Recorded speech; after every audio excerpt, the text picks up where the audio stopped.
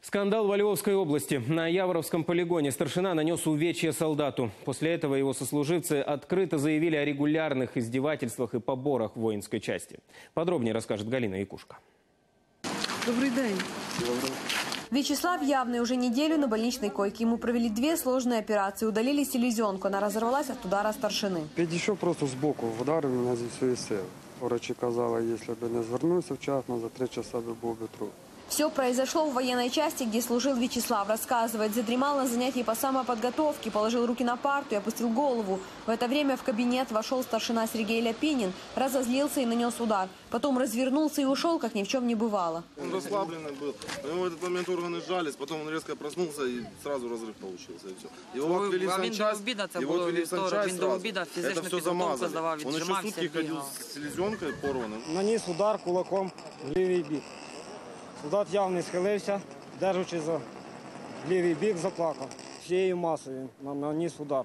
На строевой подготовке Вячеслав потерял сознание. Только на следующий день его отвезли в больницу. Солдаты говорят, к явному у старшины всегда было предвзятое отношение. Его запугивали и травили. Його на коліна перед строєм виводив, ставив начальник штабу. Він поїхав був у Київ до дівчини, в нього дівчина захворіла. Не вийшло з нього вернутися, він приїхав пізніше. Вони його поїхали в Львів на ЖД вокзал, забрали, вивезли в ліс, заставили копати яму 2 на 2. Для себе я купав яму, щоб мене закупали. Коли до голови представляють пістолет, ну, не дуже.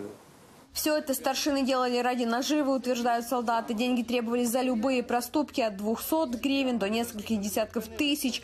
Парни сохранили несколько квитанций о переводах. Все зависит от того, какое наказание ждет человека. Там, ну, могла быть и тысяча, могла быть и две, могла быть и три. Вот, например, товарищ Ян на, послед- на протяжении четырех месяцев 3-4 тысячи не меньше скидывал. Он был запуганный. Сам старшина Ляпинин общаться с журналистами категорически отказался. Его уже отстранили от исполнения служебных обязанностей на время следствия. В воинской части заявления о поборах и издевательствах отрицают, а старшину защищают. Говорят, он военный с огромным стажем и явного не трогал. Попередня інформація про те, що він був побитий в суботу, 18 числа, не, вибачаюсь, не 18, 14 числа, от, цивільними особами, з якими вживав алкоголь. После случившегося Вячеслав Явный получил вторую группу инвалидности. Вернуться в вооруженные силы он не может, да уже и не хочет. В полиции открыли уголовное производство по факту превышения служебных полномочий. Если вину старшины докажут, он сядет на 7 лет.